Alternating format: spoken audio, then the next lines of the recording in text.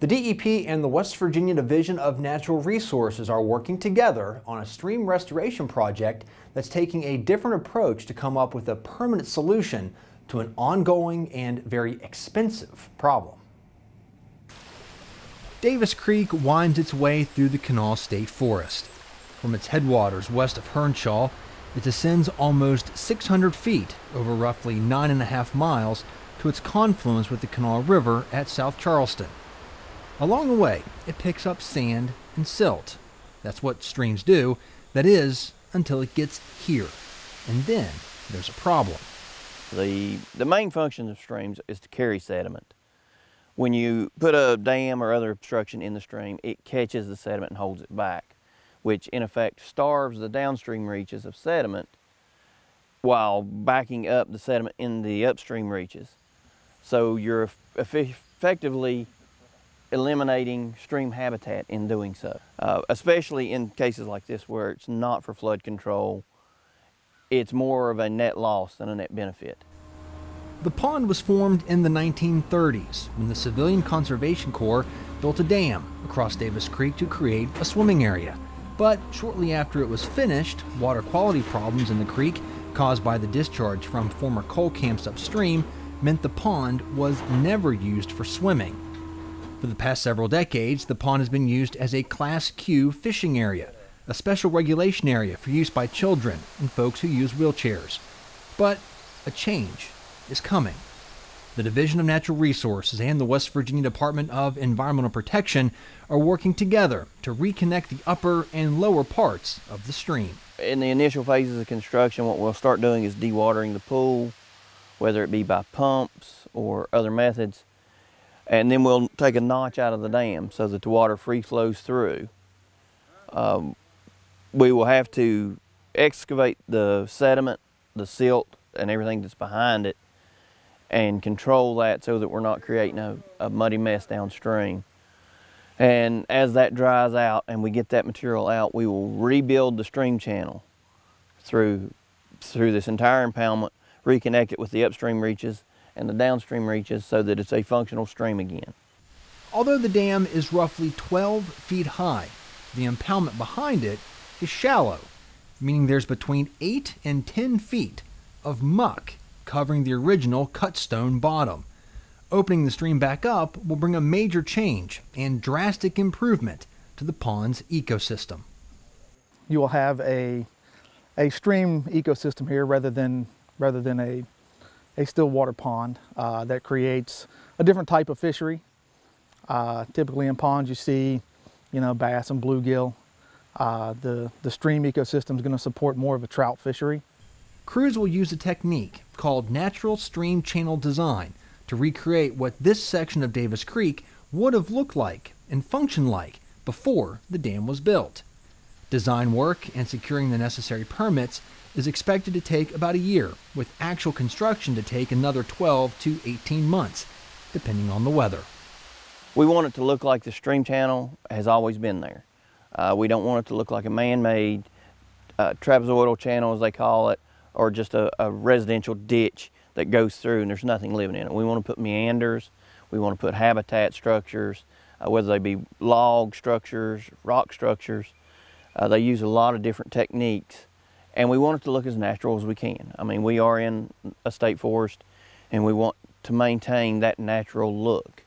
Uh, we will plant riparian areas along both sides of the stream so that we maintain shade and cover for the fish and aquatic life. But we also want to leave it open enough that the visitors to the park can have access to fishing. Um, it is a fished resource and we want to maintain that. We just want to improve it. And a big part of that improvement will be the work that happens just upstream of the pond area. The impoundment itself is, is going to create about 1,200 linear feet of stream channel. Uh, then we're going to enhance an additional 4,000 or so linear feet above, above the impoundment. Uh, that should also allow for, for fisheries uh, to be utilized up there. Uh, so, so the, the fishery is going to be going to be expanded from, from this small pool area uh, upstream for quite a ways. You know, really they're going to end up with, with two or three times the amount of fishable area that, that they currently have uh, with the habitat enhancement work that's going to take place. Stabilizing the banks upstream will also help reduce erosion and decrease the sediment load, especially during heavy rain events. This is not a flood control dam. Uh, it can't provide flood control when the fact that it's filled up with sediment. There really is no storage for water uh, in this dam. So whatever comes downstream goes over the top of it and, and continues downstream. The dam does have historical significance, which adds additional considerations to the project's design.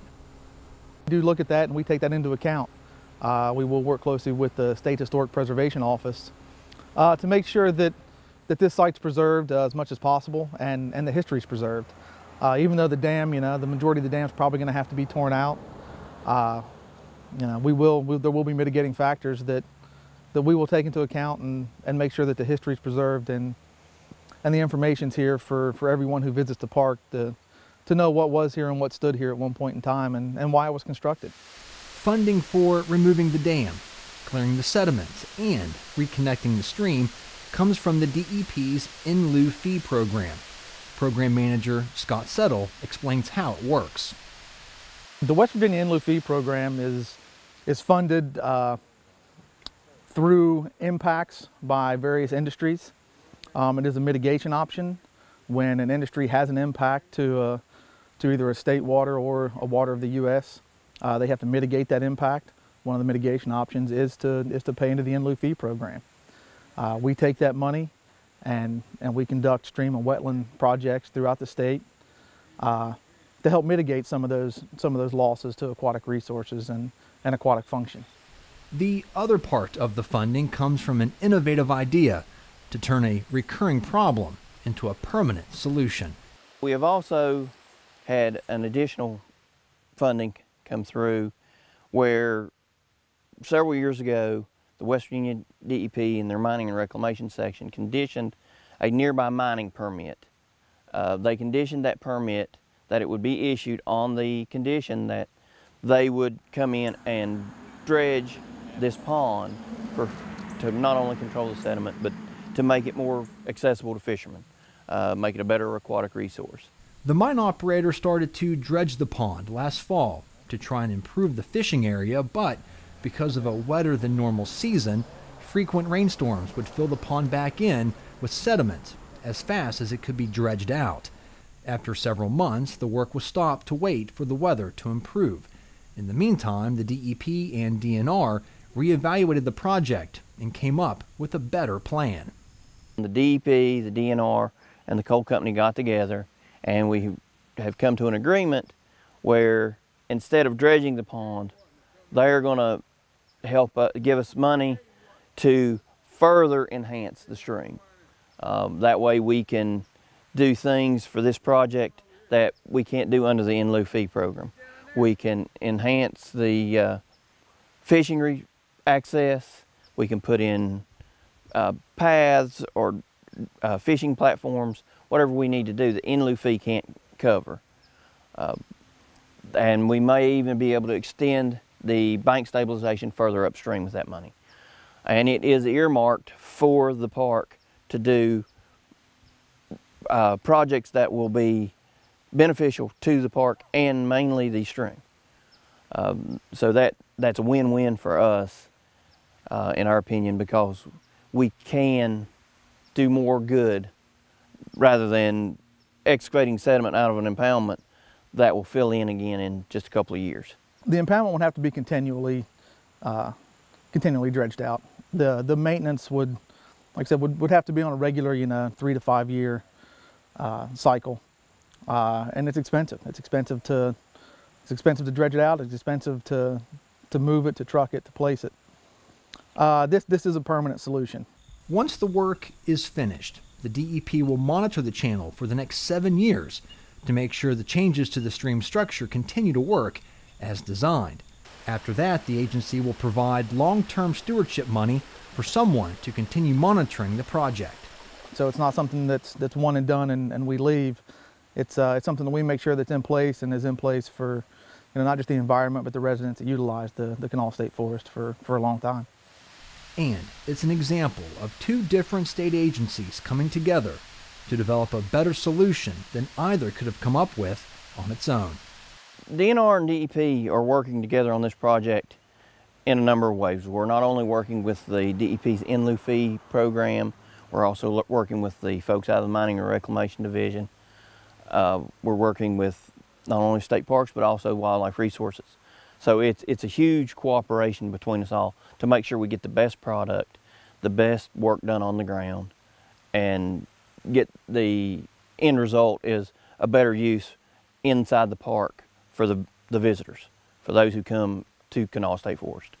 Um, it's, it's a well-used park, it's a beautiful park, and we want this to be a showpiece of it. Uh, it will not only be a showpiece, but also an educational tool. Uh, these uh, reconstructed stream channels are fantastic aquatic resources. Um, they promote better aquatic diversity. Uh, they have more landforms or habitat types. Uh, it's, it's, they're really amazing to watch them work.